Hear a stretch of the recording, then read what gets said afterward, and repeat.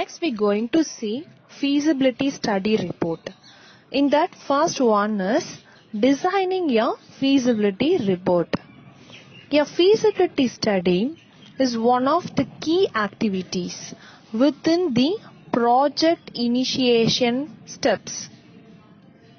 It aims to analyze and justify the project in terms of technical feasibility, business viability, and cost effectiveness. The study serves as a way to prove the project reasonability and justify the needs for launch. Once the study is done, a feasibility study report, that is FSR, should be developed to summarize the activity and state if the particular project is realistic and practical. Let us learn what feasibility study report. Meaning of FSR. It is just a document that aims to identify, explore and evaluate a project solution to save a time and money. The following definition gives a broader understanding of the document.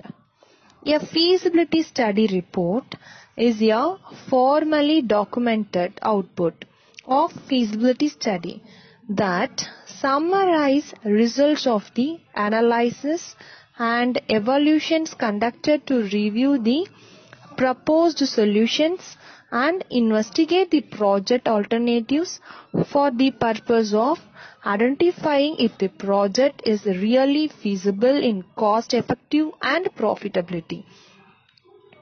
It describes and supports the most feasible solution applicable to the project. This report gives a brief description of the project and some background of information. Formally, this document is the starting point for running the pre-chartered substeps. In practice, it significance that the sponsors can proceed with deciding on project investment and make necessary assignment to the project manager. Next, we're going to see steps in writing a feasibility study report. Okay feasibility study report எழுதணும்னா நம்ம என்னென்ன steps எல்லாம் follow பண்ண போறோம் அப்படின்றது தான் இப்போ பார்க்க போறோம். இதுல ஃபர்ஸ்ட் ஹெட்டிங் என்னன்னா write a project description so project description டிஸ்கிரிப்ஷன்னாலே உங்களுக்கு தெரிஞ்சிருக்கும். உங்களுக்கு ரொம்ப சிம்பிளா ஈஸியா புரியுற மாதிரி நம்ம சொல்லணும்னா உங்களுக்கு உடம்பு சரியில்லைன்னு ஹாஸ்பிட்டலுக்கு போறீங்கன்னா டாக்டர் உங்களுக்கு டேப்லெட்ஸ் எல்லாம் எழுதி தருவாருங்க இல்லையா? அதுதான் நம்ம என்னன்னு சொல்லுவோம்னா டிஸ்கிரிப்ஷன் அப்படின்னு சொல்லுவோம். சோ அதுல என்ன இருக்கும்னா அந்த டாக்டர் கொடுக்குற டிஸ்கிரிப்ஷன்ல நீங்க என்னென்னலாம் டேப்லெட்டை யூஸ் பண்ணணும் என்ன டைம்ல நீங்க அந்த டேப்லெட்டை டேக் பண்ணிக்கணும் எல்லா டீட்டெயில்ஸுமே இருக்கும். அதாவது சாப்பிட்ட பிறகு நீங்க அந்த டேப்லெட்டை போடணுமா? இல்ல சாப்பாடுக்கு முன்னாடி அந்த டேப்லெட்டை போடணுமா? எவ்வளோ டேஸ்க்கு நீங்க அந்த டேப்லெட்டை யூஸ் பண்ணணும் எல்லா டீடைல்ஸுமே அந்த டிஸ்கிரிப்ஷன்ல இருக்கும். ஸோ இதை விட ஒரு பெட்டர் எக்ஸாம்பிள் எனக்கு டிஸ்கிரிப்ஷனுக்கு சொல்ல தெரியல. ஸோ டிஸ்கிரிப்ஷன் அப்படின்னா இந்த ஒரு விஷயத்த நீங்க ஞாபகம் வச்சுக்கோங்க. அதே தான் அதே மாதிரியான கான்செப்ட் தான் இப்போ நம்ம வந்து ப்ராஜெக்ட்லயும் பார்க்க போறோம். இப்போ நம்ம ஒரு ப்ராஜெக்ட் ஸ்டார்ட் பண்ண போறோம். ஸோ அதுக்காக ஃபர்ஸ்ட் நம்ம என்ன பண்ண போறோம்? ரைட் ப்ராஜெக்ட் டிஸ்கிரிப்ஷன் ஸோ அப்போ ப்ராஜெக்ட் டிஸ்கிரிப்ஷன்னா என்ன? நம்ம ப்ராஜெக்ட்ல என்னென்ன ஆக்டிவிட்டீஸ்லாம் ஈடுபட போறோமோ அது எல்லாத்தையுமே ஒரு ஸ்டெப் பை ஸ்டெப்பா நம்ம வந்து எழுதி வச்சுக்க போறோம். ஸோ அப்போ வந்து பாத்தீங்கன்னா கலெக்ட் இன்ஃபர்மேஷன் ஃபர்ஸ்ட் எடுத்த உடனே நம்ம ப்ராஜெக்ட்டுக்கு ரிலேட்டடா இருக்கிற எல்லா இன்ஃபர்மேஷன்ஸையும் கலெக்ட் பண்ணணும். ஸோ இன்ஃபர்மேஷன்ஸை கலெக்ட் பண்ணா மட்டும்தான் நம்மளால ஒரு ப்ராஜெக்டை ரைட் பண்ண முடியும். அப்பதான் நம்மளால ஒரு டிஸ்கிரிப்ஷன்ஸை கொடுக்க முடியும். அந்த ப்ராஜெக்ட் ரைட் பண்றது எப்படி இருக்கணும்னா டூ ஆர் த்ரீ பேஜஸ்க்கு இருக்கலாமானா இருக்கக்கூடாது. ரொம்ப சிம்பிளான ஒரு இங்கிலீஷை யூஸ் பண்ணிருக்கணும். ஏன் அப்படின்னா யார் வேணாலும் அந்த ப்ராஜெக்ட் எடுத்து படிச்சாங்கன்னா ஈஸியா அண்டர்ஸ்டாண்ட் ஆகிற மாதிரி இருக்கணும். அந்த ப்ராஜெக்ட் ரிப்போர்ட்டை படிக்கிறதுக்கு நிறைய டைம் வந்து கன்சியூம் ஆகக்கூடாது. ஸோ அப்போ டைம் டியூரேஷனும் நம்ம செமண்டேனியஸாக பார்த்துக்கணும் ஸோ அப்போ அந்த ப்ராஜெக்ட் ரிப்போர்ட் ஆனது ரொம்ப சிம்பிள் இங்கிலீஷில் இருக்கணும் ஈஸியாக அண்டர்ஸ்டாண்ட் ஆகணும். எல்லா விஷயமும் அந்த ப்ராஜெக்ட் ரிப்போர்ட்லாம் இருக்கணும். ஸோ எப்பவுமே அப்போ ப்ராஜெக்ட் ரிப்போர்ட் எப்படி இருக்கணும்னா ரொம்ப ஷார்ட் அண்ட் ஸ்வீட்டா இருக்கணும். அதாவது ரொம்ப ப்ரீஃபாக இருக்கணும்ன்றத சொல்றாங்க. ஸோ ரீடர் படிக்கிறாங்க அப்படின்னா படிக்கிறவங்களுக்கு எந்த விதமான டென்ஷனும் ஆகக்கூடாது. சில ரிப்போர்ட்லாம் எடுத்து பார்த்தீங்கன்னா பேசேஜ் பேசேஜாக கொடுத்துருப்பாங்க. பேஜஸ் பேஜஸாக கொடுத்துருப்பாங்க. ஸோ இந்த மாதிரி கொடுக்குறாங்கன்னா படிக்கிறவங்களுக்கு இரிட்டேட் ஆகிடும். இப்போ நம்மளோட ப்ராஜெக்ட் ரிப்போர்ட் எடுத்துகிட்டு போயிட்டு பேங்க்ல நம்ம காமிச்சு லோன் வாங்க போகிறோம் லோன் வாங்கணும்னா முக்கியமான விஷயம் நம்ம என்ன பண்ணிருக்கணும்? பிஸ்னஸ் பண்ண போறோம்னா அந்த பிஸ்னஸ்க்கான ப்ராஜெக்ட் ரிப்போர்ட்டாக நம்ம எழுதியிருக்கணும். ஸோ பேங்கிங்ன்றது ரொம்ப பிஸியான ஒரு கமர்ஷியல் பிளேஸ் ஸோ அந்த இடத்துல போயிட்டு நமக்காக எல்லாரும் டைம் ஸ்பெண்ட் பண்ணுவாங்களான்னா பண்ண மாட்டாங்க. ஸோ அப்போ கண்டிப்பா என்ன இருக்கணும்? நம்ம கொடுக்குற இன்ஃபர்மேஷன்ஸ் எல்லாம் ரொம்ப ஷார்ட் அண்ட் ஸ்வீட்டா இருக்கணும். Next describe possible solution so describe possible சொல்யூஷன்னா என்னன்னா நம்ம பிஸ்னஸ் பண்ண போறோம்னா அந்த பிஸ்னஸ்க்கு ஈக்குவலண்டா நிறைய ஆல்டர்னேட்டிவை நம்ம வந்து அனலைஸ் பண்ணி வச்சிருக்கணும். இதுவும் அந்த டிஸ்கிரிப்ஷன்ல நம்ம வந்து கொடுக்கணும். இப்போ ஃபார் எக்ஸாம்பிள் ஏதாவது ஒரு ப்ராப்ளம் வரும் நம்ம பிசினஸ்லன்றத முன்கூட்டியே நம்ம ப்ரிடிக்ட் பண்ணிட்டோம். ப்ரீ டிட்டர்மைண்டா நம்ம வந்து கண்டுபிடிச்சிட்டோம் அப்படின்னா அதுக்கு நம்ம என்ன சொல்யூஷன்ஸ் கொடுக்க போறோன்றதையும் நம்ம வந்து அந்த ரிப்போர்ட்ல கொடுக்கணும். Next list list evaluation criteria so என்னென்னலாம் எவால்யூஷன்ஸ் இருக்கும் அப்படின்றத நம்ம பார்க்கலாம். ஸோ ஃபர்ஸ்ட் வந்து பாத்தீங்கன்னா இது ஒரு தேர்ட் ஸ்டெப்ல வருது. இந்த எவால்யூஷன் அப்படின்றது எந்த அளவுக்கு பாசிபிலிட்டிஸ் இருக்கு நம்ம பிசினஸ் பண்றதுக்கு? ஸோ எந்த அளவுக்கு பாசிபிலிட்டிஸ் கம்மியா இருக்குதுன்றத முன்கூட்டியே நம்ம டிட்டர்மைன் பண்றோம். இது எப்படி நம்ம பாக்குறோம்னா ஃபீசிபிலிட்டி ஸ்டடி பண்றோம். ஃபீசிபிலிட்டி ஸ்டடி பண்ணும் போதே நமக்கு தெரிஞ்சிடும் எதுலாம் நமக்கு ஃபேவரபிளா இருக்கு? எதுலாம் நமக்கு வந்து ஃபேவரபிளா இல்ல? ஸோ எதெல்லாம் நம்ம வந்து அடிஷ்னலா கான்சென்ட்ரேட் பண்ணணும்? ஸோ அப்போ நம்மளோட பிசினஸை இன்னும் வந்து அதோடைய பேஸை வந்து இன்க்ரீஸ் பண்ணணும்னா ஸோ நம்ம என்னென்னலாம் வந்து ஸ்டெப்ஸ் எடுக்கணும்? ஸோ இது எல்லாமே நம்ம என்ன பண்ணுவோம்னா இன்வெஸ்டிகேஷன் பண்ண ஸ்டார்ட் பண்ணிடுவோம். ஸோ அப்படி பண்ணா நமக்கு ஒரு சொல்யூஷன்றது வந்து ஈஸியாக கிடைக்கும். ஸோ இதுதான் நம்ம என்னன்னு சொல்றோம்னா எவால்யூவேஷன் இன்னும் சிம்பிளா சொல்லணும்னா எவால்யூவேஷன் அப்படின்றது நமக்கு ஒரு பிஸ்னஸ் பண்ணோன்ற ஐடியா வந்துருச்சு. ஸோ அந்த ஐடியாக்கு அப்புறம் நம்ம என்ன பண்றோம்? ஃபீசிபிலிட்டி ஸ்டடி பார்க்குறோம். ஸோ அந்த ஃபீசிபிலிட்டி ஸ்டடி பண்ற கான்செப்டே நம்ம என்னன்னு வச்சுக்கலாம்னா எவால்யூவேஷன் அப்படின்னு நம்ம சொல்லலாம். So next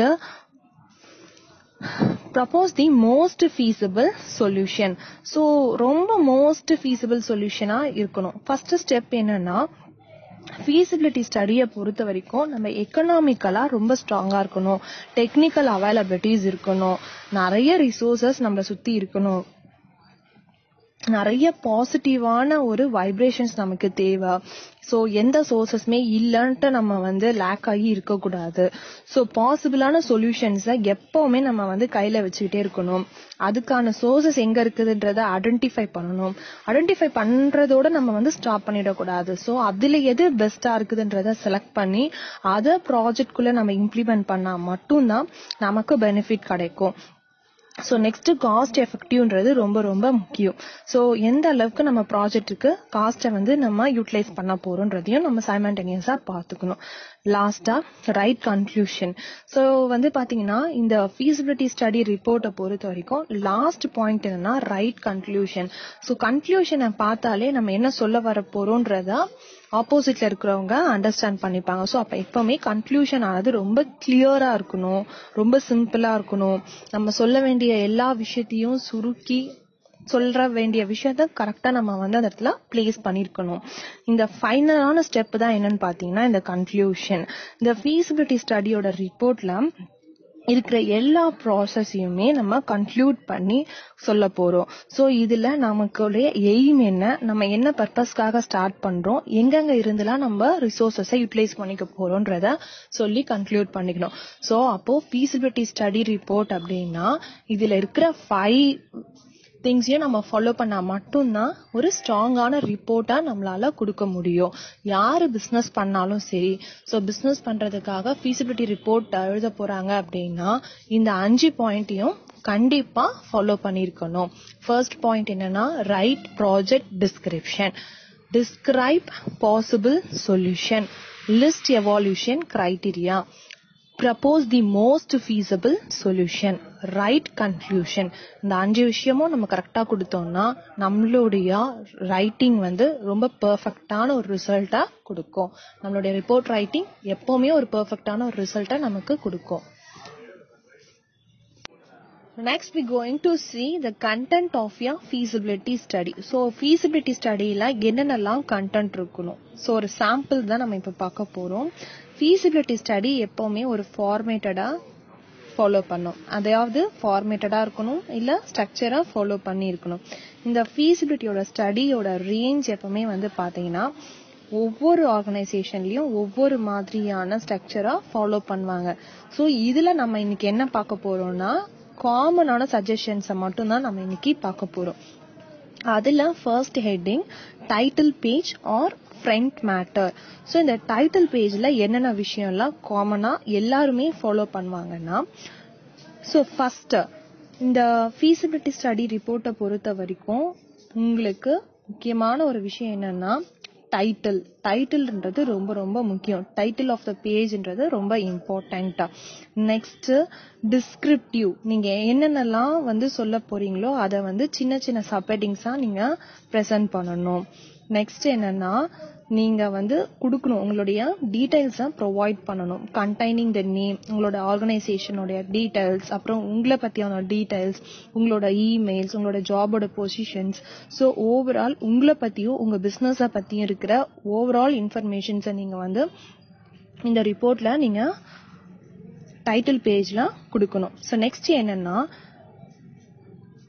ஹெட்டிங்ஸும் சப்ஹெட்டிங்ஸும் சீக்வன்ஸா நம்ம கொடுத்துக்கிட்டே இருக்கணும். ஸோ ஒரு ஹெட்டிங் இருக்குன்னா அந்த ஹெட்டிங் கீழே நம்ம என்னென்னலாம் கவர் பண்ண போறோம் அதை தான் நம்ம என்னன்னு சொல்லுவோம்னா சப் ஹெட்டிங்ஸ் ஸோ இது எல்லாமே ஸ்ட்ரக்சர்டா கரெக்டான ஒரு ரிப்போர்ட் ஃபார்மேட்ல நம்ம ஃபாலோ பண்ணணும். அடிஷ்னலாக நம்ம ஏதாவது மெட்டீரியல்ஸ் வந்து ஆட் பண்ண போறோம்னா ஸோ அதெல்லாம் நம்ம எப்படி காட்டலாம்னா டேபிள்ஸ் மூலியமாவோ இல்லை ஃபிகர்ஸ் மூலியமாவோ இல்லை இல்லஸ்ட்ரேஷன்ஸ் இந்த மாதிரி போட்டு அதை நம்ம காட்டலாம். இப்போ ஃபார் எக்ஸாம்பிள் நம்ம பிஸ்னஸ்க்காக ஏதாவது ஒரு ஃபர்னிச்சர்ஸோ இல்லை வந்து வேற ஏதோ ஒரு ப்ராடக்ட்டை நம்ம பர்ச்சேஸ் பண்ண போகிறோம் which is related to our business so அந்த திங்ஸ் எல்லாமே நம்ம டேப்லேஷன்ஸ் மாதிரி போட்டு காட்டலாம். எப்பவுமே நம்ம மைண்டில் என்ன இருக்கணும்னா நம்பர்ஸ் பேஜ் நம்பர்ஸ் வந்து கன்ஃபார்மாக நம்ம வந்து போடணும். ஒவ்வொரு ப்ராஜெக்ட் ரிப்போர்ட்லேயும் பேஜ் நம்பர்ஸ் கண்டிப்பாக நம்ம போடணும். ஸோ ப்ராஜெக்ட் ரிப்போர்ட் எழுதுறோம் அப்படின்னா மேக்ஸிமம் ஃபோர் டு ஃபைவ் பேஜஸை தாண்டி நம்மளோட ரிப்போர்ட் ஆனது போகக்கூடாது. ஸோ ஃபோர் டு ஃபைவ் பேஜஸ்க்குள்ள நம்மளோட ரிப்போர்ட்டை என்ன பண்ணிடணும்னா கம்ப்ளீட் பண்ணிடணும். Next body of the report so body of the report அப்படின்றது நிறைய ஸ்டைல்ஸ் இருக்கு. நிறைய டிஃப்ரெண்ட் ஸ்டைல்ஸ் எல்லாம் ஃபாலோ பண்றாங்க. நிறைய ஃபார்மேட்டும் இருக்கு. இதை நம்ம செலக்ட் பண்றது ரொம்ப டிஃபிகல்ட்டாகவும் இருக்கும். ஆனா வந்து பாத்தீங்கன்னா நம்ம வந்து நம்ம பிசினஸ்க்கு எந்த ஃபார்மேட் வந்து சூட் ஆகுமோ அதை கரெக்டான ஃபார்மேட்டை பார்த்து நம்ம வந்து சூஸ் பண்ணிக்கணும். ஸோ எது எப்படி இருந்தாலும் காமனான சஜஷன் என்னன்னா ஒரு பிசினஸ் பிளானை எழுதும் போது ஈச் பேஜ்லயும் கண்டிப்பா பாடி ஆஃப் த கண்டென்ட்டை இல்ல வந்து டிஸ்கிரிப்டிவ் ஹெட்டரை வந்து நம்ம போடணும். அப்ரிவேஷன்ஸ் இதெல்லாம் இருக்குன்னா அந்த அப்ரிவேஷன்ஸ்க்கான டீட்டெயில்ஸை நம்ம கொடுக்கணும். ஆத்தர் நேமை வந்து நம்ம ஸ்பெசிஃபைட் பண்ணணும் ஒவ்வொரு பேஜ்லயும் கண்டிப்பா பேஜ் நம்பர் கொடுக்கணும். ஸோ நம்மளுடைய ரிப்போர்ட்ஸ் எல்லாமே ஹெட்டிங்ஸும் சப்ஹெட்டிங்ஸும் ஃபாலோ ஆகி வர மாதிரி நம்ம பார்த்துக்கணும். இதெல்லாம் இருந்தா மட்டும்தான் அது வந்து நம்ம ஒரு நீட்டான ஒரு டாக்குமெண்டா நம்ம பார்க்க முடியும். கண்டிப்பா ஹெட்டிங் இல்லைன்னா அது வந்து வேலிடான ஒரு ப்ராஜெக்ட் ரிப்போர்ட்டா கண்டிப்பா இருக்கவே இருக்காது. So font size font style throughout entire project report முடியிற வரைக்கும் ஒரே டெம்ப்ளேட்ஸை நம்ம வந்து என்ன பண்ணணும்னா ஃபாலோ பண்ணணும். இப்போ ஹெட்டிங் இருக்குன்னா அந்த இடத்துல நம்மளோட ஃபாண்ட் சைஸை கொஞ்சம் லார்ஜ் பண்ணி காட்டலாம். இல்லை நம்ம மெயின் கண்டென்ட்டை பற்றி பேச போறோம்னா அந்த இடத்துல நம்மளோட ஃபாண்ட் சைஸை ரெடியூஸ் பண்ணி காட்டலாம். ஸோ ப்ரொஃபஷனலான ஒரு லுக் இருக்கணும். நம்ம எழுதுகிற ப்ராஜெக்ட் ரிப்போர்ட் ரிப்போர்ட்ல அப்படின்னா அதுக்கு ஃபாண்ட் சைஸை ப்ரொஃபஷனலாகவே சொல்கிறாங்க என்னன்னா ஹெட்டிங்காக இருந்ததுன்னா டுவெல் வைக்கலாம். இல்லை சப்ஹெட்டிங்ஸ் அந்த மாதிரி இருக்குன்னா டென் வைக்கலாம். ஸோ இது எல்லாமே காமனான ஒன்று ஸோ நெக்ஸ்ட் என்னன்னா ஸ்டைல் ஸ்டைல்ன்றது வந்து காமனாக நம்ம யூஸ் பண்ணுறோன்னா டைம்ஸ் நியூ ரோமன் ஃபார் ஃபார்மேட்டே நம்ம வந்து யூஸ் பண்ணலாம். ஸோ அதுதான் வந்து கொஞ்சம் நல்லா டீசெண்டாக இருக்கும் பார்க்குறதுக்கும் ரொம்ப நல்லா நீட்டாகவும் இருக்கும். ஸோ நெக்ஸ்ட் ஹெட்டிங் என்னன்னா செக்ஷன் ஆஃப் தி ரிப்போர்ட் இந்த செக்ஷன் ஆஃப் த ரிப்போர்ட்ல சிக்ஸ் சப்ஹெட்டிங்ஸ் வந்து சொல்றாங்க. ஃபர்ஸ்ட் என்னன்னா எக்ஸிக்யூட்டிவ் சம்மரி ஸோ இந்த எக்ஸிக்யூட்டிவ் சம்மரியில நமக்கு நம்ம டிஸ்கிரிப்ஷன்ல என்னென்னலாம் ப்ராப்ளம்ஸ் நமக்கு இருக்கு? ஆர் அதர்வைஸ் நம்ம பா செய்ய போற பிஸ்னஸ்ல என்னென்னலாம் ஆப்பர்ச்சுனிட்டி இருக்குதுன்றத ஹைலைட்டட் பண்ணி நம்ம காட்டணும். ஸோ இந்த பர்பஸ் தான் வந்து ரொம்ப ரொம்ப இம்பார்ட்டன்ட் ஸோ இதுதான் வந்து நம்மளுடைய பிஸ்னஸை ஃபர்தராக மூவ் பண்ணுறதுக்கு ஹெல்ப்ஃபுல்லாக இருக்கும். நம்மளுடைய டார்கெட் ஆடியன்ஸ் யாருன்றத கிளியராக இந்த எக்ஸிக்யூட்டிவ் சம்மரியில் நம்ம சொல்லணும். நெக்ஸ்ட் அனலைசஸ் ஸோ அனலைசஸ் அப்படின்னும் போதே உங்களுக்கு தெரியும். ஓரளவுக்கு நீங்கள் கெஸ் பண்ணியிருக்கீங்க கெஸ் பண்ணலாம். அனலைசஸ்னா என்னன்னா ஃபர்ஸ்ட் நம்ம வந்து எக்ஸாமைன் பண்ணணும். எக்ஸாமைன் பண்றத நம்ம என்ன பண்ண போறோம்? செகண்ட் ஸ்டேஜ்ல எவாலுவேட் பண்ணி பார்க்க போறோம். ஸோ இந்த எக்ஸாமைனும் எவாலுவேஷனும் கரெக்டா நம்ம பண்ணோம்னா கரெக்டான ஒரு அனலைசஸ் ஆன ரிசல்ட் நமக்கு கிடைக்கும். ஸோ இந்த எக்ஸாமைன் எவால்யூஷன் இது எல்லாமே எப்படி தான் பண்ண முடியும்னா ஃபீசிபிலிட்டி ஸ்டடி மூலியமா தான் பண்ண முடியும். ஸோ ஆல்ரெடி நான் உங்களுக்கு எலாபரேட்டடாக எக்ஸ்பிளனேஷன் கொடுத்துருக்கேன். ஃபீசிபிலிட்டி ஸ்டடினா என்ன? ஃபீஸிபிலிட்டி ஸ்டடி எப்படி பண்ணோன்றதெல்லாம். So next cost benefit evaluation so cost benefit evaluation முடிஞ்ச அளவுக்கு நம்மளுடைய பிஸ்னஸில் காஸ்ட்டை வந்து நம்ம ரெடியூஸ் பண்ணிக்கணும். காஸ்ட்டை ரெடியூஸ் பண்ணிட்டு ஸ்டாண்டர்டான ஒரு அவுட்புட்டை நம்ம கொடுக்கணும். ஸோ காஸ்ட் ரெடியூஸ் பண்ணிட்டோன்றதுக்காக ஒரு ஸ்டாண்டர்ட் இல்லாமல் ஒரு அவுட்புட்டை நம்ம கொடுத்தோம்னா பிஸ்னஸை நம்மளால சர்வே பண்ண முடியாது. ஸோ காஸ்ட்டையும் நம்ம ஒரு ஹேண்டில் பார்த்துக்கணும் ரெடியூஸ்டாக அதே சமயம் இன்னொரு ஹேண்டில் என்ன பண்ணோம்னா கொடுக்குற குவாலிட்டியை ஆஃப் ப்ராடக்ட்டை ரொம்ப நல்ல ஒரு குவாலிட்டியில் நம்ம கொடுக்கணும். எப்பவுமே வந்து பார்த்தீங்கன்னா இது எல்லாமே எக்கனாமிக்கலாக டிபெண்ட் பண்ணி தான் இருக்கும். நெக்ஸ்ட் ஃபைனலாக கன்க்ளூஷன் கண்டிப்பா நம்ம செய்ய போற ஒர்க்கை ஓவராலா சம்மரைஸ் பண்ணி சொல்லணும். என்ன பர்பஸ்க்காக நம்ம பிசினஸ் ஸ்டார்ட் பண்றோம்? எல்லாத்தையுமே நம்ம வந்து கிளியரா இந்த கன்க்ளூஷன்ல கொடுக்கலாம். Next recommendation and suggestion so இந்த ரெக்கமெண்டேஷன் சஜஷன்ஸ் இது எல்லாமே எதை பேஸ் பண்ணி வரும்னா இந்த கன்க்ளூஷனை பேஸ் பண்ணி வரும். Last point back or end matter or last page so நம்ம ரிப்போர்ட்டோட லாஸ்ட் பேஜில் நம்ம என்னென்னலாம் எழுதணும்? லாஸ்ட் திங்ல நீங்க வந்து கன்க்ளூட் பண்ணி முடிக்கும் போது நீங்க என்ன சொல்ல வரீங்க? நீங்க என்ன பிசினஸ் பண்ண போறீங்க? நீங்க என்னென்ன மாதிரியான அப்ரோச்சஸ்லாம் யூஸ் பண்ண போறீங்கன்றது எல்லாத்தையுமே பாசிட்டிவான ஒரு மெத்தட்லாம் நீங்க சொல்லி கன்க்ளூட் பண்ணிடணும். நீங்க கொடுக்குற லாஸ்ட் இம்ப்ரெஷன் தான் உங்களோட பிசினஸ்க்கு ரொம்ப ஒரு பெஸ்ட் ஓப்பனிங்கா கொடுக்க போகுது. So last impression of the page அப்படின்றது ரொம்ப ரொம்ப கவனமா இருக்கணும். ஸோ லாஸ்ட் திங்ல நம்ம எதையுமே சொல்லாம விட்டுறக்கூடாது. நம்ம என்ன சொல்ல வரோமோ அந்த கருத்தை தெளிவா சொல்லிடணும். ஸோ இந்த ஃபீசிபிலிட்டி ஸ்டடி ரிப்போர்ட்ல நம்ம என்னென்ன விஷயம்லாம் பார்த்துருக்கோமோ அது எல்லாத்தையுமே கிளியர் கட்டாக கொடுக்குறோம். நெக்ஸ்ட் வந்து பார்த்தீங்கன்னா நம்ம பிசினஸ்க்கு ரிலேட்டடாக நிறைய சோர்சஸ் ஆஃப் இன்ஃபர்மேஷன்ஸை கேதர் பண்ணியிருப்போம் ஸோ அதாவது எப்படி கேதர் பண்ணியிருப்போம் ஃபீசிபிலிட்டி ஸ்டடி பண்ணும்போது நிறைய இன்ஃபர்மேஷன்ஸை கேதர் பண்ணியிருப்போம் ஸோ அதனால நம்ம என்ன பண்ணலாம்? ரெஃபரன்ஸ் மெட்டீரியல்ஸ் மாதிரி நம்ம நிறைய விஷயத்த அட்டாச் பண்ணலாம். ஆர்டிகல்ஸ் புக்ஸ் இல்லை வந்து பார்த்தீங்கன்னா வெப் பேஜஸ் இந்த மாதிரி நிறைய டாக்குமெண்ட்ஸை வந்து எவிடன்ஸை நம்ம வந்து கொடுக்கலாம். லாஸ்ட் என்னன்னா அடிஷ்னலா வந்து பாத்தீங்கன்னா கண்டிப்பா நம்ம கொடுக்குற எல்லா டீடைல்ஸுமே ஒரு நல்ல ஒரு எக்ஸ்பர்ட்டை வச்சு அவர் மூலியமா டிஸ்கஸ் பண்ணி அவர் என்ன ஒப்பீனியன் கொடுக்குறாரோ அந்த ஒப்பீனியனும் நம்ம சேர்த்தோம் அப்படின்னா ரொம்ப வேலிடான ஒரு ஃபீஸபிள் ரிப்போர்ட் வந்து நமக்கு கிடைக்கும். ஸோ இது எல்லா விஷயமும் ரொம்ப ரொம்ப இம்பார்ட்டன்ட் ஒரு ரிட்ட ஒரு ரிப்போர்ட்டை நம்ம எழுதும் போது right now we going to see next slide that is project report Next, we're going to see project report in entrepreneurship. First, you have to know what is mean by project report. So project report அப்படின்னா என்னன்னா ஒரு return document return டாக்குமெண்ட்டை தான் நம்ம என்னன்னு சொல்லுவோம்னா project report அப்படின்னு சொல்லுவோம் முன்கூட்டியே நம்மளோட பிஸ்னஸ் ரிலவெண்ட்டாக என்னென்னலாம் பண்ண போறோன்றத நம்ம ஓரளவுக்கு சீக்வன்ஸ் பண்ணி வச்சிருப்போம். ஸோ அது எல்லாமே நம்ம என்னன்னு சொல்லலாம்னா ரிப்போர்ட் அப்படின்னு சொல்லலாம். இப்போ இன்வெஸ்ட்மெண்ட் பண்ண போறோம்னா எவ்வளோ அமௌண்ட் வந்து நம்ம இன்வெஸ்ட்மெண்ட் பண்ண போறோம்? நம்மளோட பிஸ்னஸ்ல யார் யார் கூடலாம் நம்ம டீலர்ஷிப் வச்சுக்க போறோம்? ஓவராலா நம்ம செய்ய போற ஆக்டிவிட்டிஸை எல்லாமே ரிட்டர்ன் பண்ணி வச்சிருக்கிறது தான் என்னன்னா ப்ராஜெக்ட் ரிப்போர்ட்டா இந்த ப்ராஜெக்ட் ரிப்போர்ட் எல்லாமே யாரை டிபெண்ட் பண்ணி இருக்கோம்னா அந்த பிஸ்னஸ் உடைய ஓனரை டிபெண்ட் பண்ணி இருக்கும் ஸோ அந்த பிஸ்னஸோடைய பர்சன் யாருன்னா ஆண்டர்பிரனர் ஆண்டர்பிரனரை டிபெண்ட் பண்ணி இருக்கும். ஸோ ப்ராஜெக்ட் ரிப்போர்ட் ஆனது யார் வந்து ரெடி பண்ணி தருவாங்கன்னா மேக்சிமம் எக்ஸ்பர்ட் தான் வந்து ரெடி பண்ணி தருவாங்க. ஸோ எக்ஸ்பர்ட் என்ன பண்ணுவாங்கன்னா டீடைல்டு ஸ்டடியை வந்து ப்ரொவைட் பண்ணுவாங்க. ஸோ எக்ஸ்பர்ட்டை பொறுத்த வரைக்கும் அவங்க ட்ரெண்டிங்லே இருக்கிறதுனால எல்லாத்தையுமே கரண்ட் சுச்சுவேஷனில் எதெல்லாம் மூவிங்கில் இருக்குது கரண்ட் சுச்சுவேஷனில் என்னென்னலாம் வந்து ப்ளஸ் இருக்கு என்னென்னலாம் மைனஸ் இருக்கு எல்லாத்தையுமே அவங்க வந்து அனலைஸ் பண்ணிக்கிட்டே இருப்பாங்க. ஸோ அவங்கள நம்ம என்னன்னு சொல்றோம்னா எக்ஸ்பர்ட் அப்படின்னு சொல்லுவோம். ஸோ கண்டிப்பா எக்ஸ்பர்ட் வந்து என்ன பண்ணுவாங்கன்னா அவங்களுடைய சஜஷன்ஸா ப்ரொவைட் பண்ணுவாங்க. ஸோ ஓவராலா சம்மரைஸ் பண்ணி சொல்றோம். ப்ராஜெக்ட் ரிப்போர்ட் அப்படின்னா என்னன்னா நம்ம செய்ய போற ஆக்டிவிட்டிஸை எல்லாத்தையுமே ரிட்டர்ன் டாக்குமெண்ட்ல கொடுக்கறது தான் என்னன்னா project report next we're going to see the content of your project report so the content of a project report la ஒரு 7 to டென் கண்டென்ட் இருக்கு. ஃபர்ஸ்ட் கண்டென்ட் என்னன்னா ஜென்ரல் இன்ஃபர்மேஷன் ஸோ ஒரு ப்ராஜெக்ட் ரிப்போர்ட்ல கண்டிப்பா அவசியமா இருக்கக்கூடிய ஜென்ரலான இன்ஃபர்மேஷன் என்னன்னா அந்த இண்டஸ்ட்ரியஸை பத்தியான டீடைல்ஸை நம்ம ஃபர்ஸ்ட் தெளிவா கொடுக்கணும். நெக்ஸ்ட் அந்த ப்ராஜெக்ட் எந்தனுடைய ப்ராஜெக்ட்ல இருந்து வரப்பட்டது? ஸோ அதாவது என்னன்னா which the project belongs to அந்த ப்ராஜெக்ட் எங்க இருந்து வருதுன்றதையும் நம்ம கிளியரா கொடுக்கணும். நெக்ஸ்ட் எந்த ஒரு இன்ஃபர்மேஷனா இருந்தாலும் அந்த இன்ஃபர்மேஷன்ல எந்த விதமான ஒளிவு மறைவும் இருக்கவே கூடாது. நெக்ஸ்ட் ஸ்டேஜ் என்னன்னா ஒரு ப்ராஜெக்ட் ரிப்போர்ட்டை பொறுத்த வரைக்கும் ஒரு ப்ராஜெக்டோடைய ஒரு ஓனரை பத்தி நம்ம கொடுக்க போறோம். ரைட்டுங்களா ஸோ அப்போ அந்த owner of the concern already அவருக்கு பிஸ்னஸ் இருக்கா? ஆல்ரெடி அவர் ஒரு பிஸ்னஸை பண்ணிட்டு இருக்காரா இல்லை இப்போதான் வந்து புதுசாக பிஸ்னஸை ஸ்டார்ட் பண்ண போறாரா? இது எல்லாத்தையுமே நம்ம வந்து கவர்ன் பண்ணணும். ஏன்னா அவர் ஆல்ரெடி ஒரு பிஸ்னஸை ஸ்டார்ட் பண்ணிட்டு இருக்காரு அப்படின்னா அவருக்கு அந்த பிஸ்னஸ்ல இருக்கிற எக்ஸ்பீரியன்ஸும் ரொம்ப ரொம்ப அவசியம். ஸோ அந்த எக்ஸ்பீரியன்ஸை நம்ம வந்து இந்த ரிப்போர்ட்ல பாயிண்ட் அவுட் பண்ணி காட்டணும்.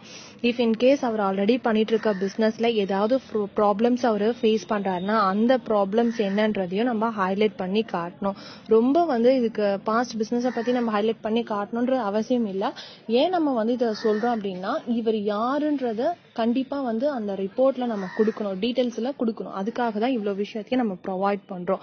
ஸோ நெக்ஸ்ட் என்னன்னா இண்டஸ்ட்ரி ஸோ இண்டஸ்ட்ரியை பொறுத்த வரைக்கும் ஒரு ப்ராடக்ட்டை மேனுஃபேக்சர் பண்றாங்கன்னா அந்த ப்ராடக்ட்டை வந்து கரெக்டான ஒரு ப்ராடக்டா செலக்ட் பண்ணணும். ஸோ கரெக்டான ஒரு ப்ராடக்ட்டை செலக்ட் பண்ணி மேனுஃபேக்சர் பண்ணால் மட்டும்தான் அந்த ப்ராடக்ட்டோட மூவிங் அதாவது டிமாண்ட் அண்ட் சப்ளை எல்லாமே கரெக்டாக இருக்கும். சப்ளை கரெக்டாக இருக்கும். அந்த ப்ராடக்ட்டுக்கு டிமாண்ட் வந்துச்சுன்னா ஓகே நோ ப்ராப்ளம் நம்ம நிறைய ப்ரொடக்ஷனை வந்து என்ன பண்ணலாம்? இன்க்ரீஸ் பண்ணலாம். ஸோ இதெல்லாம் நம்ம எப்படி வந்து ஸ்கேன் பண்ணலாம்னா மூணு ஸ்கேல்ல பிரிக்கிறாங்க. ஒன்று வந்து local national and global market so ஒரு ப்ராடக்ட் லோக்கல் லெவலில் எப்படி அதோடைய மூவிங் இருக்குது நெக்ஸ்ட்டு நேஷனல் லெவலில் பார்க்கும்போது அந்த ப்ராடக்டோட மூவிங் எப்படி இருக்கு? இது எல்லாத்தையுமே நம்ம வந்து தெளிவா ஸ்கேன் பண்றோம். இதை நம்ம கிளியரா ஐடென்டிஃபை பண்ணா மட்டும்தான் நம்மளுடைய பிசினஸ்க்கு ஆல்டர்னேட்டிவான சில சோர்சஸை நம்மளால என்ன பண்ண முடியும்னா கிரியேட் பண்ண முடியும். நீங்க புதுசா ஒரு பிசினஸ் ஸ்டார்ட் பண்றீங்க அப்படின்னா இவ்வளோ விஷயத்தையும் நீங்க என்ன பண்ணணும்னா ஃபாலோ பண்ணணும். நெக்ஸ்ட் என்னன்னா எக்ஸிக்யூட்டிவ் சம்மரி ப்ராஜெக்ட் ரிப்போர்ட்ல ப்ராஜெக்டோடைய அப்ஜெக்டிவை நம்ம கிளியரா கொடுக்கணும். நம்மளோட பிசினஸோட அப்ஜெக்டிவ் தான் ரொம்ப ரொம்ப முக்கியம். எதுக்காக நம்ம வந்து பிஸ்னஸை ஸ்டார்ட் பண்றோம்? நம்ம பிஸ்னஸை ஸ்டார்ட் பண்றோம்னா ஸோ நம்ம பிசினஸ்க்கு எப்படி நம்ம வந்து சக்ஸஸை ஈஸியாக நம்ம வந்து ரீச் பண்ணிக்க போகிறோம் ஓவரால் பிக்சர்ஸ் ஆஃப் த பிஸ்னஸை நம்ம கொடுக்கணும். So overall picture of the business நம்ம கொடுத்தா மட்டும்தான் அவங்களுக்கு ரொம்ப யூஸ்ஃபுல்லாக இருக்கும். So overall picture of the business அப்படின்னா என்னன்னா நம்ம ப்ராஜெக்டில் நம்ம என்னென்ன ஆக்டிவிட்டீஸ்லாம் பண்ண போகிறோம் நம்மளுடைய ப்ராஜெக்டில் என்னென்ன ஆப்ரேஷன்ஸை நம்ம வந்து ஃபாலோ பண்ண போகிறோம் என்ன மெத்தட்ஸை ஃபாலோ பண்ண போகிறோம் இது எல்லாமே டீட்டெயில்டாக நம்ம வந்து ப்ராஜெக்ட் ரிப்போர்ட்டில் கொடுக்கணும். நெக்ஸ்ட் என்னன்னா அசம்ஷன் ஸோ அசம்ஷன் எதை டிபெண்ட் பண்ணியிருக்கோம்னா ரிஸ்க்கை டிபெண்ட் பண்ணி இருக்கோம் நம்ம பண்ற ப்ராஜெக்ட்ல இந்த மாதிரி ரிஸ்க் வந்ததுன்னா அந்த ரிஸ்க்கு நம்ம என்ன சொல்யூஷன்ஸை கொடுக்க போறோம்? நம்ம ஆல்டர்னேட்டிவா என்ன கொடுக்க போறோன்றதையும் தெளிவா மென்ஷன் பண்ணி இருக்கணும். நெக்ஸ்ட் ஆர்கனைசேஷன் சம்மரி ஸோ நம்மளுடைய ப்ராஜெக்ட் ரிப்போர்ட்ல மெயினாக நம்மளோட ஆர்கனைசேஷனை ஸ்ட்ரக்சரை பத்தி தெளிவாக கொடுத்துருக்கணும். நம்ம என்ன மாதிரியான பேட்டர்னை ஃபாலோ பண்ண போறோம்? நம்ம என்னென்னலாம் யூனிட்டா ஃபாலோ பண்ண போறோம்ன்றத டீட்டெயில்டாக கொடுத்துருக்கணும். ஸோ அப்பதான் வந்து தெளிவாக நமக்கு கிடைக்கும். ஸோ இதில் வந்து பார்த்திங்கன்னா யாருடைய டீட்டெயில்ஸை கொடுக்கணும்? ஏன்னா ஓனர்ஷிப் ஸோ ஓனர்ஷிப்ன்றது ரொம்ப ரொம்ப இம்பார்ட்டண்ட் யார் வந்து அந்த பிஸ்னஸ்க்கு ஓனராக இருக்கிறாரோ அவரை பற்றியான டீட்டெயில்ஸை நம்ம கொடுக்கணும். இப்போ ஃபார் எக்ஸாம்பிள் எல்லா பிஸ்னஸுக்குமே ஒரே ஒரு சிங்கிள் பர்சன் தான் ஓனராக இருப்பாரானா இருக்க மாட்டார். சில பிஸ்னஸ்லாம் வந்து பார்த்திங்கன்னா பார்ட்னர்ஷிப் மூலயமா இருக்கும். சில பிஸ்னஸ்லாம் வந்து பார்த்தீங்கன்னா ஜாயின்ட் ஸ்டாக் மூலயமா பண்ணுவாங்க. ஸோ அந்த மாதிரி நிறைய டிஃப்ரென்ஸ் இருக்கு. இப்போ நீங்கள் செய்ய போகிற பிஸ்னஸ்க்கு ஓனர்ஷிப் டீட்டெயில்ஸை கண்டிப்பாக ப்ரொவைட் பண்ணணும். அதுதான் ஆர்கனைசேஷன் சம்மரியில வர ஃபர்ஸ்ட் பாயிண்ட் நெக்ஸ்ட் இந்த இன்ஃபர்மேஷனுடைய அந்த கரெக்டான டீட்டெயில்ஸ் எல்லாமே நம்ம சேர்த்து கொடுக்கணும். அதாவது யார் வந்து அந்த பிஸ்னஸ் பிஸ்னஸ்க்கு ஓனரா இருக்க போறாரோ அவருடைய பயோடேட்டாவை நம்ம கிளியரா கொடுக்கணும். தென் அவருடைய ஃபினான்ஷியல் சவுண்ட்னஸ் எந்த அளவுக்கு இருக்குதுன்றத தெளிவா கொடுக்கணும். ஃபினான்ஷியல் சவுண்ட்னஸ் அப்படின்னா என்னன்னா அவருக்கு இருக்கிற ஃபினான்ஷியல் சப்போர்ட் இப்போ இன்கேஸ் அவர் புதுசா ஒரு பிசினஸ் ஸ்டார்ட் பண்றாரு அப்ப அவர்கிட்ட என்ன இருக்கணும்? கேபிட்டல் ரிசோர்ஸ் இருக்கணும். அவர்கிட்ட இப்ப எந்த அளவுக்கு கேபிட்டல் சோர்ஸ் இருக்கு? இல்ல அதர்வைஸ் அவர் ஏதாவது ஃபினான்ஷியல் இன்ஸ்டிடியூஷன்ஸ்ல இருந்து அமௌண்ட்டை பாரோ பண்ண போறாரா? இது எல்லா டீடைல்ஸுமே கண்டிப்பா கொடுக்கணும். நெக்ஸ்ட் என்னன்னா name address age qualification and experience so யார் வந்து ஓனராக இருக்கிறாங்களோ அந்த ஓனருடைய இந்த எல்லா டீட்டெயில்ஸுமே நம்ம அவங்களுக்கு ப்ரொவைட் பண்ணணும்.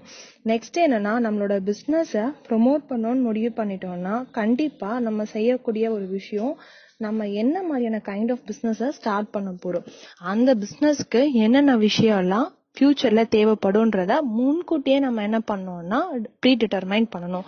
ஸோ அதை ப்ரிடிக்டா நம்ம யோசிச்சா மட்டும்தான் நமக்கு சக்சஸ்ன்றது கிடைக்கும்.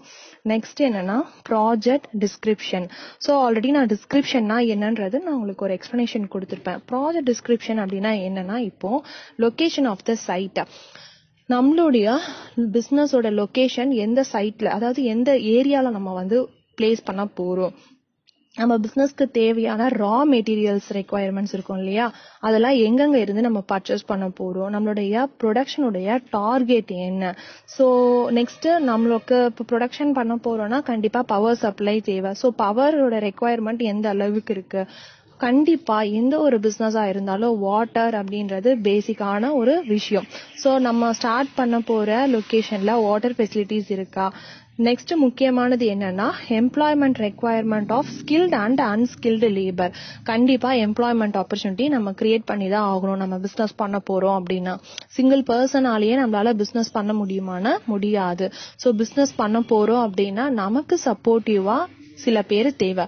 ஸோ அப்போ நம்ம டிட்டர்மைன் பண்ணிக்கணும். நம்ம செய்யற பிஸ்னஸ்க்கு படிச்சவங்க வேணுமா படிக்காதவங்க வேணுமான்றத நம்ம டிசைட் பண்ணிட்டு அதுக்கு ஏற்ற மாதிரி நம்ம என்ன பண்ணோம்னா ரெக்குவயர்மெண்ட்டை ஸ்டார்ட் பண்ணணும். ஸோ அதுக்கேற்ற மாதிரி சாரி அதுக்கேற்ற மாதிரி நம்ம ரெக்ரூட்மெண்ட்டை ஸ்டார்ட் பண்ணணும். ஸோ அப்போ ரெக்ரூட்மெண்ட் பண்ணுறதுக்கு முன்னாடி ஸ்கில்டு ஸ்கேம் ஸ்கில்டு எம்ப்ளாயி நமக்கு எவ்வளோ பேர் வேணும்? அன்ஸ்கில்டு எம்ப்ளாயி எவ்வளோ பேர் வேணும்ன்றத முன்கூட்டியே நம்ம நோட்டீஸ் பண்ணிக்கணும். நெக்ஸ்ட் டெக்னாலஜி ரொம்ப ரொம்ப முக்கியம். டெக்னாலஜி இல்லாம நம்மளால பிஸ்னஸ் பண்ணவே முடியாது. ஸோ நம்மளுடைய ப்ராஜெக்ட்டுக்கு ரிலேவெண்டடா என்னென்ன டெக்னாலஜிலாம் இருக்குதுன்றத அப்டேட் பண்ணிக்கணும். ஸோ இதெல்லாம் பண்ணா மட்டும்தான் நம்மளோட ப்ரொடக்ஷன் ப்ராசஸை டேக் ஓவர் பண்ண முடியும். இஃப் இன் கேஸ் இதெல்லாம் எதுவுமே பண்ணாம நம்மளோட ப்ரொடக்ஷன் ப்ராசஸை கொடுக்க முடியுமானா கண்டிப்பாக முடியாது. இப்போ நம்ம பிஸ்னஸ் பண்ணுறோம் ப்ரொடக்ஷன் பண்ண போகிறோம் ஒரு இண்டஸ்ட்ரி ஓப்பன் பண்ணுறோம் அப்படின்னா ஸோ அந்த இண்டஸ்ட்ரியை கரெக்டான வேல நம்ம என்ன பண்ணணும்னா அப்ரோச் பண்ணணும். இப்போ ஃபார் எக்ஸாம்பிள் இண்டஸ்ட்ரீஸ்லேருந்து வர வேஸ்ட் வாட்டர்ஸ் அதாவது அந்த ட்ரைனேஜஸ் எல்லாத்தையும் ப்ராப்பராக நம்ம என்ன பண்ணோம்னா டிஸ்போஸ் பண்ணணும். அதெல்லாம் நம்ம ப்ராப்பராக டிஸ்போஸ் பண்ணாமல் நம்ம விட்டுட்டோம்னா சோஷியல்ல இருந்து நமக்கு நிறைய ப்ராப்ளம் வரும். சொசைட்டிலேருந்து நமக்கு நிறைய ப்ராப்ளம்ஸ் வந்து கண்டிப்பாக வரும். ஸோ நம்ம பிஸ்னஸ் பண்ண போகிறோம் அப்படின்னா சொசைட்டியை அஃபெக்ட் பண்ணவே கூடாது. அதில் நம்ம ரொம்ப கான்ஸ்டண்ட்டாக இருக்கணும். நெக்ஸ்ட் கான்செப்ட் மார்க்கெட்டிங் பிளான் ரைட்டா ப்ராஜெக்ட் ரிப்போர்ட்ல ரொம்ப கிளியரா நம்ம என்ன பார்க்க போறோம்னா இப்போ மார்க்கெட்டிங் பிளான்ன்றது ரொம்ப ரொம்ப முக்கியம். டோட்டல் எக்ஸ்பெக்டட் டிமாண்ட் என்ன இருக்கு? நம்மளுடைய ப்ராடக்ட்லாம் டோட்டலா எவ்வளவு டிமாண்ட் இருக்குதுன்றத நம்ம ஜட்ஜ் பண்ணணும். ஸோ நெக்ஸ்ட் ஒரு ப்ராடக்ட்டுக்குடைய ப்ரைஸை நம்ம ஃபிக்ஸ் பண்ணணும். ப்ராடக்டோட ப்ரைஸை நம்ம எப்படி ஃபிக்ஸ் பண்ணுவோம்? ஒரு ப்ராடக்டை உற்பத்தி பண்றதுக்கு எவ்வளோ காஸ்ட் நம்ம வந்து எக்ஸ்பான்ஸ் பண்ணியிருக்கோமோ அதை விட ஒரு ஒன் ருபியோ இல்ல டூ ருபியோ நம்ம எக்ஸ்ட்ராவா வச்சுதான் என்ன பண்ணுவோம்னா அந்த ப்ராடக்ட்டுக்கான காஸ்ட் நம்ம வந்து ஃபிக்ஸ் பண்ணுவோம். ஸோ நெக்ஸ்ட் அந்த ப்ராடக்ட்டை மார்க்கெட்ல வந்து சேல் பண்ணும் போது மினிமம் ரீட்டைல் ப்ரைஸு இல்ல மேக்ஸிமம் ரீட்டைல் ப்ரைஸு ஸோ இது ரெண்டுத்தையுமே நம்ம தான் என்ன பண்ணணும்னா ஃபிக்ஸ் பண்ணணும். நெக்ஸ்ட் நம்மளுடைய ப்ராடக்ட்டுக்கு என்ன மாதிரியான கஸ்டமர்ஸ் இருக்காங்க? டைப்ஸ் ஆஃப் கஸ்டமர்ஸை ஃபைண்ட் அவுட் பண்ணணும். டைப்ஸ் ஆஃப் கஸ்டமர்ஸ் அப்படின்னா இப்போ நம்ம ஒரு ப்ராடக்ட்டை மேனுஃபேக்சர் பண்ணும்போது அந்த ப்ராடக்ட்டை காமனா எல்லாருமே யூஸ் பண்ற மாதிரி இருந்ததா? இல்ல வந்து சில்ட்ரன்ஸ் மட்டும் யூஸ் பண்ற மாதிரி இருக்கா? இல்ல அடல்ட் யூஸ் பண்ற மாதிரி இருக்கா? இந்த மாதிரி நிறைய கேட்டகரிஸ்ல நம்ம வந்து அந்த ப்ராடக்ட்டை கொடுப்போம் ரைட்டுங்களா ஸோ நம்ம ப்ராடக்ட் யாரை வந்து ரீச் பண்ற மாதிரி இருக்கும்ன்றத நம்ம கிளியரா புரிஞ்சுக்கணும். டைப்ஸ் ஆஃப் கஸ்டமர்ஸ் ரொம்ப ரொம்ப முக்கியம். நம்மளுடைய ப்ராடக்ட் நம்ம எந்த டைப்ஸ் ஆஃப் கஸ்டமர்ஸ்க்காக ப்ரொவைட் பண்ண போறோம். இஃப் இன் கேஸ் ஒரு எக்ஸாம்பிள் நம்ம சில்ட்ரனை ஃபோக்கஸ் பண்றோம் அப்படின்னா ஸோ சில்ட்ரனுக்கு என்னென்ன மாதிரியான விஷயம்லாம் பிடிக்குமோ அதுக்கேற்ற மாதிரி நம்ம ப்ராடக்டை மேனுஃபேக்சர் பண்ணணும்.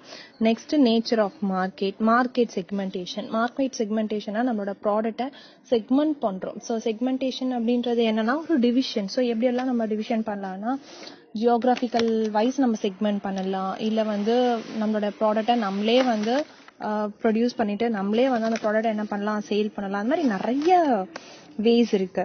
So next marketing cost of the project so marketing of cost of the project ரொம்ப ரொம்ப இம்பார்ட்டன்ட் இது எல்லாமே ஒரு மார்க்கெட் பண்ணுற பர்சன் மார்க்கெட்டிங் பண்ணுற பர்சன்ஸ்க்கு வந்து பா- ரொம்ப இம்பார்ட்டண்ட்டான ஒரு விஷயம். ஸோ மார்க்கெட்டிங் பிளான் அப்படின்னா என்னன்னா நம்ம ப்ராடக்ட்டை ப்ரொடியூஸ் பண்ணிட்டோம். அந்த ப்ரொடியூஸ் பண்ண ப்ராடக்ட்டை மார்க்கெட்டில் லான்ச் பண்ணும்போது என்னென்ன மாதிரியான வேஸை நம்ம யூஸ் பண்ண போகிறோம் ஸோ அப்போ ஃபர்ஸ்ட் நம்மளுடைய கன்சியூமர் யார்? என்னென்ன மாதிரியான கன்சியூமர்ஸை நம்ம வந்து ஃபோக்கஸ் பண்ணுறோம் ஸோ அவங்கள சாட்டிஸ்ஃபைட் பண்ணோன்னா நம்மளுடைய ப்ராடக்ட்டில் என்னென்ன இனோவேஷன்ஸை கொண்டு வரணுன்றத கான்சன்ட்ரேட் பண்ணணும். So next heading is capital structure and operating cost. இந்த ப்ராஜெக்ட் ரிப்போர்ட்டை எதை டிஸ்கிரைப் பண்ணுதுன்னா டோட்டல் கேபிட்டல் ரெக்வயர்மெண்ட் ஒரு ப்ராஜெக்ட் பண்ணி முடிக்கிறதுக்கு நமக்கு எவ்வளவு டோட்டலான கேபிட்டல் ரெக்வயர்மெண்ட் வேணுன்றத டிட்டர்மைன் பண்ணுது. ஸோ இந்த கேபிட்டல் நமக்கு எங்க இருந்தெல்லாம் கிடைக்குது? சோர்சஸ் ஆஃப் ஃபினான்ஸ் ஸோ எங்க இருந்து நம்ம ஃபினான்ஸை வாங்க போறோம்? இல்ல நம்ம ஓனர் அதுக்கு அந்த ப்ராஜெக்டை கம்ப்ளீட் பண்ற அளவுக்கு ஃபண்ட்ஸ் இருக்கா? இல்ல வந்து பாரோ பண்ண போறாங்களா? இந்த விஷயம் எல்லாமே இந்த கேபிட்டல் ஸ்ட்ரக்சர்ல வந்துடும் ஸோ எஸ்டிமேஷன் கண்டிப்பா தேவை. இப்போ நம்ம ஒரு ப்ராஜெக்ட் ஸ்டார்ட் பண்ண போறோம் அப்படின்னா இந்த ப்ராஜெக்ட்க்கு ஒரு ஒன் லேக் ருபீஸ் ஆகுது ஸ்பெண்ட் ஸ்பெண்ட் பண்ணணும். அப்படின்றத ஒரு எஸ்டிமேட்டடா நம்ம வந்து சொல்லணும்.